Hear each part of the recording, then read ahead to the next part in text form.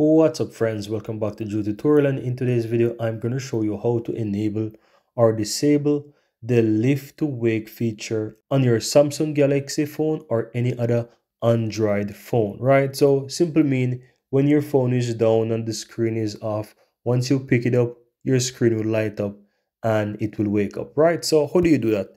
Do a swipe up and you want to open up your settings. If you don't able to find settings, you can simply type settings here in the search and you'll find the settings. You open that up. Right now, within the settings somewhere here, you will find the advanced feature. You want to tap on that to open it.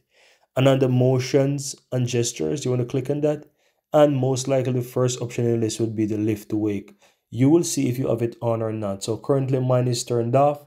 So once I basically toggle that on and my phone is down, screen is off, I'll be able to take it up and my phone will light up, right? And if you toggle this off, it will be turned off. Now, if you're not able to find that in general, you can simply go ahead and type it in. You can simply type lift to wake and by the time you start to type a lift to, you'll find the lift to wake option. You can simply click on it and it will, it will take you right into those settings that you can simply turn it on as you wish. And guys, the search feature within the settings is very handy. So if you hear of a feature that you're not even sure where to find it, you can simply open up settings and just start to type whatever you want and it will basically find it. So let's say I even want to find hotspot and I don't know where to find that. You can simply go ahead and type hotspot.